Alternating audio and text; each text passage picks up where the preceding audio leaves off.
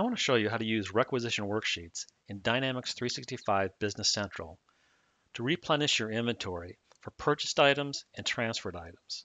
This does not apply to assembled items or manufactured items. So let's get started. The first thing I did is I put in a new sales order. This is dated on January 15th.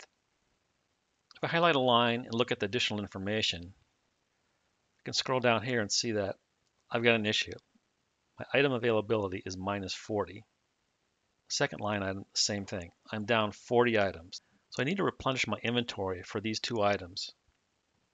To do that, I'm going to go to Requisition Worksheets.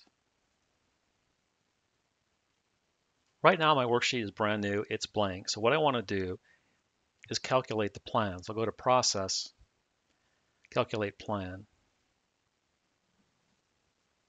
The ending date here specifies a date beyond which all orders will be disregarded. So let's run this.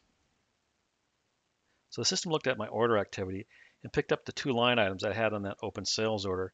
You can see the quantities right there. So the next thing to do is turn this into a purchase order. So I'll go to Process, carry out the action message.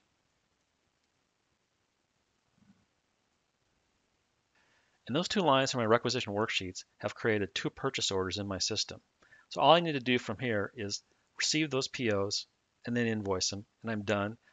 Then I'll have those item quantities in my inventory so I can safely release that sales order. It can be picked and shipped out to the customer.